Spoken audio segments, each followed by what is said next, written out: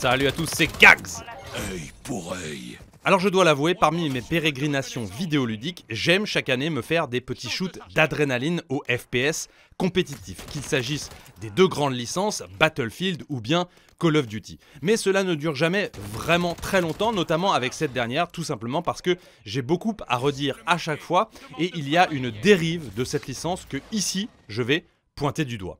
Tout d'abord, précisons quel type de joueur je suis. Je suis plutôt, je crois, un assez bon joueur de FPS compétitif. Je ne suis pas un noob, je suis loin d'être un pro, mais à mon avis, j'ai suffisamment de compétences et j'y ai joué suffisamment longtemps pour pouvoir ici bah, vous proposer une analyse assez profonde et vous allez le voir, tout n'est pas reluisant. Cette année, particulièrement, les joueurs, je crois, ont exprimé leur mécontentement, voire leur colère par rapport à cette version.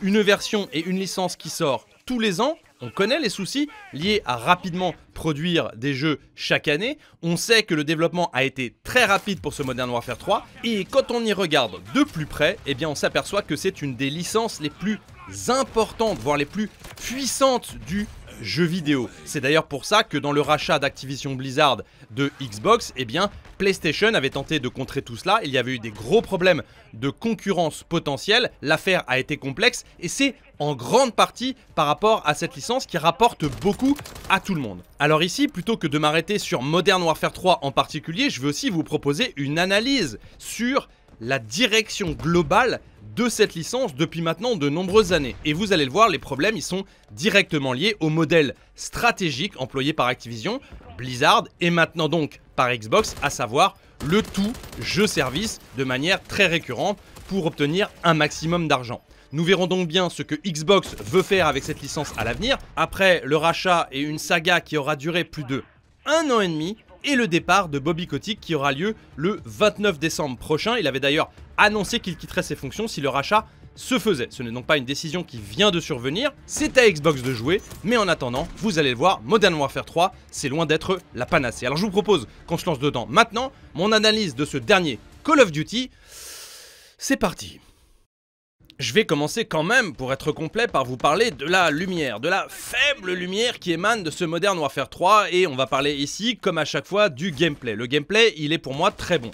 Alors, entendons-nous bien, il se base très très largement, comme un FIFA, sur le gameplay des précédentes années. Mais ici, ils ont effectué quelques rééquilibrages qui sont, à mon sens, bienvenus. Dans les précédentes éditions, le TTK avait été diminué. Le TTK, c'est le time to kill, le temps pour tuer un ennemi, qui était très faible. Ici, il redevient un peu plus long. Les joueurs ont par exemple un tiers de vie en plus, ce qui permet de se sortir de situations quand vous êtes pris au dépourvu, ce qui permet aux joueurs de faire valoir leurs skills et leur connaissance des maps et s'adapter aux situations et ce qui permet aussi d'avoir un équilibrage varié entre les différentes armes. Hein, quand vous êtes en mode hardcore ou que le TTK est très très court, bon bah globalement entre un fusil d'assaut, une mitraillette, un fusil tactique ou un sniper, il y a plus grande différence si ce n'est éventuellement la portée. Ici il y a des vraies différences entre les différentes armes, elles sont plus marquées que dans les précédentes éditions et personnellement je trouve cet équilibre plus intéressant notamment dans ce FPS compétitif. Après, je ne vais pas m'attarder longuement sur le reste du gameplay parce que, encore une fois, c'est une base qui est solide et qui est là maintenant depuis des années. Oui, nous avons ici ce qu'il se fait de mieux en termes de feeling des armes, en termes de recul, en termes de puissance de tir, en termes de son, en termes d'addiction. Vraiment, c'est quasiment parfait, mais encore une fois, ce n'est pas Modern Warfare 3 qui amène tout cela. D'ailleurs, nous avons des animations identiques par rapport aux années précédentes. Globalement, il y a énormément de choses qui ont été simplement réutilisées. Après, je trouve ça tout à fait normal qu'une licence se base sur la force et les acquis du passé. Encore faut-il amener un peu d'innovation, et vous allez le voir, sur ce point-là, c'est très très faible. Car au-delà du gameplay, ce qui est très attendu dans un FPS compétitif, c'est bien évidemment les cartes, les maps. Et ici, force est de constater que Modern Warfare 3 a décidé de rapporter toutes les maps emblématiques de la licence, plus particulièrement de Modern Warfare 2. Et en fait, la grande force de ce Modern Warfare 3, c'est nous rappeler à quel point le passé de cette licence fut glorieux. Oui, ces maps sont très bien équilibrées. Oui, il reprend des cartes de très grands crus de la saga. Oui, j'ai été ravi de pouvoir rejouer dans l'aéroport ou encore sur Rust Cheat. Toutes les anciennes cartes ne sont pas parfaites, mais globalement elles sont très bien équilibrées et elles sont d'une qualité largement supérieure à bien des cartes que l'on a eues dans les dernières années. Simplement, pour un jeu qui est vendu au prix maximum, payant, et qui en plus propose derrière tout un type de jeu-service avec des microtransactions de partout, un pass de combat, etc., eh bien, on se devait, à mon humble avis, d'apporter de la nouveauté. Oui, il y en aura au fur et à mesure de l'année, nous verrons si elles sont suffisantes, mais en l'état, ça n'est pas ça. Je comprends donc tous les joueurs qui disent que ce n'est qu'un vulgaire DLC, parce que pour moi, c'est le cas, le travail effectué au niveau du contenu est digne d'un DLC. Un DLC vendu comme un nouveau jeu et plein pot, et oui, à ce Noël, les joueurs n'auront pas eu de cadeau. Mais il y a d'autres choses où le bas blesse beaucoup plus en ce qui concerne le gameplay. La licence Call of Duty, elle est prise entre deux feux. Elle a les fesses entre deux chaises, le cul entre deux tabourets, si je peux me permettre. Il y a d'un côté la volonté de faire plaisir aux fans de la licence de la première heure, aux hardcore gamers, et à ceux aussi qui propagent la visibilité du jeu, que ce soit les compétiteurs, les streamers, enfin bref, il faut que les gens restent sur le jeu toute l'année, soient compétitifs, puissent faire des centaines et des centaines d'heures dessus et à ce titre, il faut les combler. Mais surtout, Call of Duty, c'est une licence qui vend énormément et a une très large cible, que ce soit le compétiteur, le streamer ou aussi le daron qui va jouer deux heures par jour à la sortie du boulot, voire même une fois par semaine avec ses petits-enfants. Il faut donc aussi les combler et surtout, surtout, ne pas les frustrer. Alors je voudrais vous parler d'un problème qui m'a sauté aux yeux cette année beaucoup plus que les précédentes années, peut-être parce que pour cette vidéo j'ai poussé un peu plus les curseurs, c'est ce qu'on appelle le SBMM. Dans le matchmaking, le jeu va au bout d'un moment enregistrer vos performances et vous allez finir par être dans des lobbies, dans des salons avec des joueurs qui ont approximativement le même niveau que vous.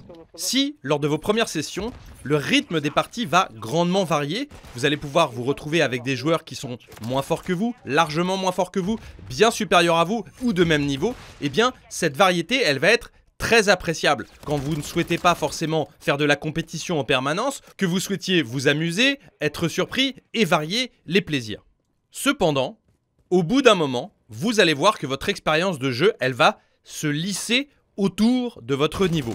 Bien sûr, les parties pourront être différentes en fonction de la carte, en fonction du temps et l'heure où vous jouez, les serveurs auxquels vous accédez, etc.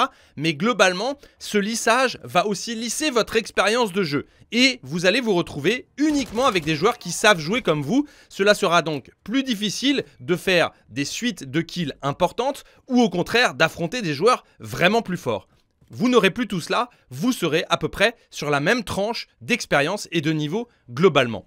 Alors, pour les joueurs qui ont un niveau relativement peu élevé, ou les joueurs du dimanche. Comme ils sont en bas de l'échelle, de toute manière, eh bien, ils se retrouveront comme à l'habitude avec des joueurs de leur niveau ou supérieur. Le SBMM, il permet quoi? Le SBMM, il permet de drastiquement réduire, voire éliminer quasiment à 100% le fait de pouvoir se retrouver face à d'autres joueurs qui vont vous déchirer la tronche. En fait, le but du SBMM, c'est de réduire la frustration pour ceux qui ont un niveau faible ou moyen, puisqu'ils ne retrouveront pas dans leur session des joueurs beaucoup plus forts qu'eux.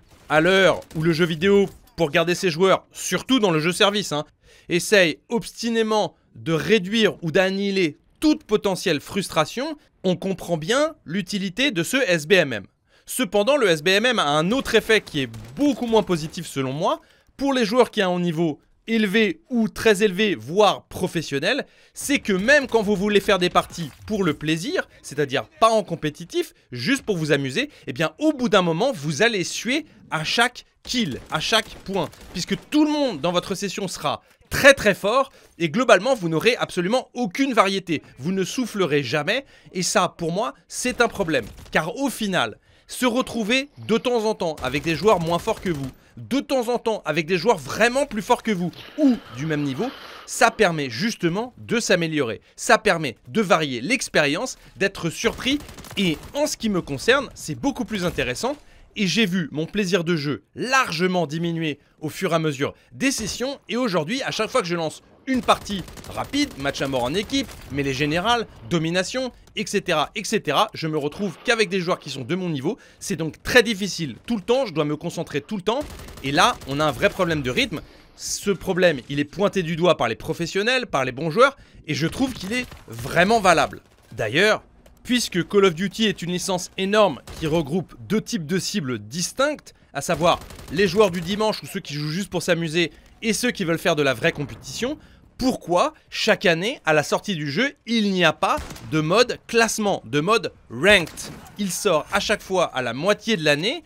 Or, il est très important parce qu'il permet de dissocier les joueurs qui veulent juste s'amuser pour le plaisir et faire quelques parties et ceux qui veulent s'améliorer et progresser dans un classement nous aurions beaucoup plus de bons joueurs qui jouent en ranked ou en classé, donc beaucoup moins de ces joueurs-là sur les serveurs plaisir, et donc on aurait contenté tout le monde. Mais non, le mode classement, au contraire de plein d'autres jeux, il n'est jamais là à la sortie, alors qu'il a déjà été codé, qu'il est déjà présent dans les précédentes éditions. Je ne comprends pas cette décision. En tout cas, il doit bien y en avoir une, forcément, il faut laisser du contenu pour l'année à venir et le jeu service. Et puis aussi, force est de constater que le SBMM, ça doit marcher. Hein. Activision, ils font des analyses extrêmement précises et des statistiques sur tous les joueurs du jeu, et ce qui augmente et optimise la rétention. Je ne dis pas que le SBMM n'est pas utile, je donne juste mon avis quant au plaisir de jeu et à la qualité de la licence.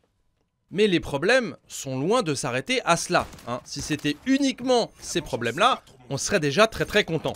Parce que cette année, encore plus que les précédentes années, l'expérience de jeu, elle est non seulement diminuée par des problèmes de gameplay et de contenu de base, elle est aussi largement diminuée par le système économique absolument infect. Déjà, nous n'avons pas affaire à un free-to-play.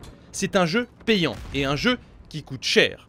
Pourtant, ce jeu arbore un système économique d'un jeu-service complet avec des prix absolument hallucinants.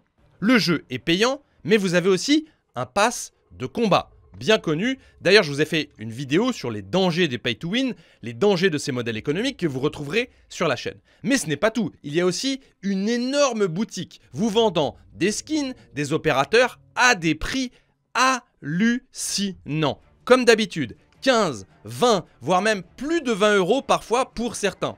Bien sûr, bon nombre de ces packs ne sont pas à la valeur pile des packs de monnaie virtuelle que vous pouvez acheter. Vous allez donc avoir des résidus de monnaie virtuelle qui vous encouragera à acheter toujours plus. Bon, ils ont été gentils quand même sur certains, le prix est à peu près le même. Mais enfin bref, globalement, on reste dans les mêmes mécanismes que je vous ai expliqués de manipulation mentale avec addiction plus frustration.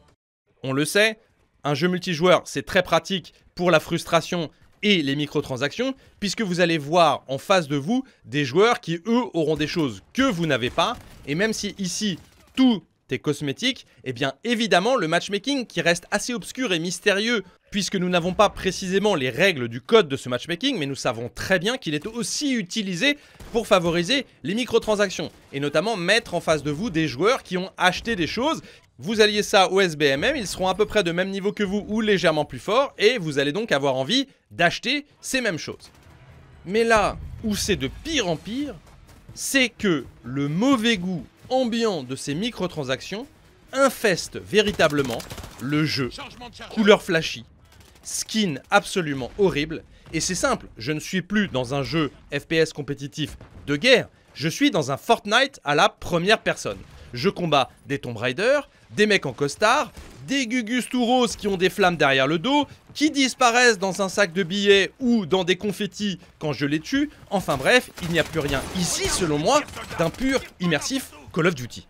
Alors évidemment, je sais que les nouvelles générations hein, seront biberonnées à cette direction artistique de très très grand talent, mais moi personnellement, ça me gâche mon expérience alors même que je n'ai rien payé. C'est quand même extraordinaire.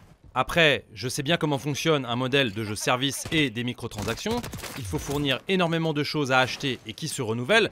Donc à un moment donné, eh on est obligé d'aller de plus en plus vers l'excentricité. Mais dans ce cas-là, il faudrait que le jeu l'assume complètement, comme un Fortnite par exemple. Et là, on a plutôt l'impression que c'est un Call of Duty à l'ancienne, qui est un jeu de guerre, mais dans lequel on a mis du rose, du violet et du bleu partout, mais on voudrait quand même continuer à nous dire que c'est un, un, jeu de guerre avec euh, euh, des terrains de combat, etc., etc. Je pense que Call of Duty devrait aujourd'hui s'affirmer plus dans ce sens, en témoigne la map Battle Royale, la séquence d'introduction ou le goulag qui aurait pu justement aller dans ce sens et l'assumer complètement.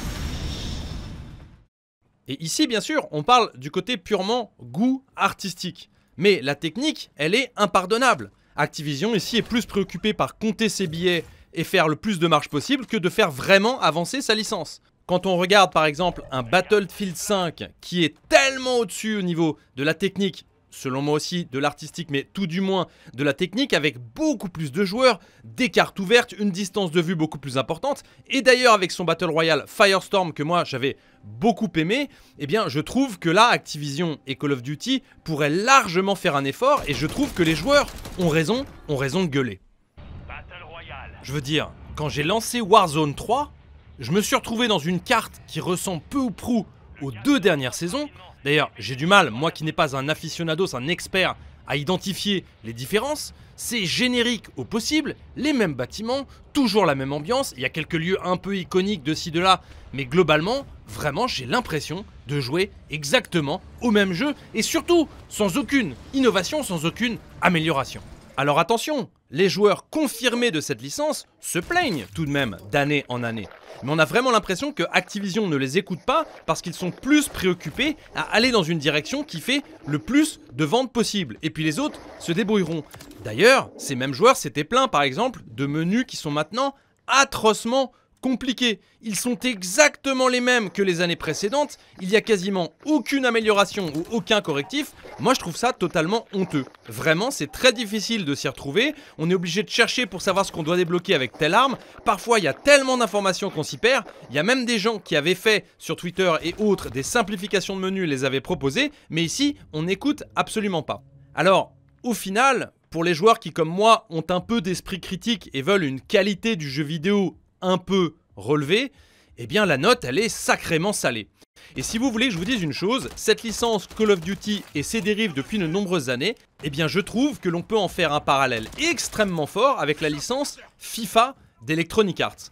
Une communauté bien gentille, qui continue à consommer, même si parfois elle essaye de critiquer, incapable de se faire entendre, et qui d'année en année ne bronche pas alors que le jeu se dégrade progressivement. Aujourd'hui, FIFA est un très mauvais jeu de football et un très bon jeu pour ceux qui souhaitent payer plein pot pour collectionner des cartes toute l'année. Pro Evolution Soccer, qui était le maître en la matière de simulation, a aussi choisi de se diriger vers le jeu service et les microtransactions, notamment avec le mode My Club. Aujourd'hui, on a eFootball. Et le dernier jeu en date, le dernier FIFA, que l'on appelle maintenant autrement chez Electronic Arts, n'est pas franchement reluisant au niveau du gameplay et même de la réalisation. Pour moi, cette licence Call of Duty, elle prend exactement la même direction et on fait des changements quand vraiment, vraiment, on est obligé de les faire, quand vraiment ce n'est plus possible autrement. Sinon, on laisse couler, on laisse pisser le plus longtemps possible et on ramasse un maximum d'argent. Alors la question aujourd'hui, c'est que va faire Xbox? Bobby Kotick est parti d'Activision, ils ont été rachetés par Xbox et plus largement Microsoft, et donc ici, c'est à Xbox de jouer. Que vont-ils faire? Quelles sont leurs ambitions? Avec ces jeux on sait très bien aujourd'hui, notamment avec des informations qui euh, ne sont pas censées être publiques, que le nerf de la guerre et l'émancipation de ces grandes entreprises, et notamment dans le jeu vidéo, c'est bien sûr le jeu service. C'est une manne financière incroyable qui rapporte beaucoup plus qu'autre chose. Donc, évidemment, Xbox est lancé aussi dans cette course-là. Mais que vont-ils faire par rapport à cette licence? Est-ce qu'ils vont corriger le tir par rapport à Activision Blizzard, qui depuis de nombreuses années a une très mauvaise réputation auprès des joueurs, et je trouve que c'est mérité? Eh bien ça, nous le verrons assurément dans un avenir très proche, car à mon avis, Activision, Xbox et Call of Duty n'est pas prêt à faire une pause de plusieurs années pour nous ressortir un épisode vraiment innovant. Ils ressortiront pareil l'année prochaine d'autres épisodes. On verra donc bien ils se dirigeront. Voilà, j'espère que cette petite vidéo vous a plu. Si elle vous a plu, n'hésitez pas à liker, à commenter, voire même à partager et puis à soutenir la chaîne aussi financièrement parce que je ne pratique aucun partenariat. Je souhaite rester le plus possible libre de toute parole et indépendant. Je vous remercie donc d'avance. Moi, je vous attends pour une année 2024 de folie avec plein de vidéos. C'était Gag. Je recharge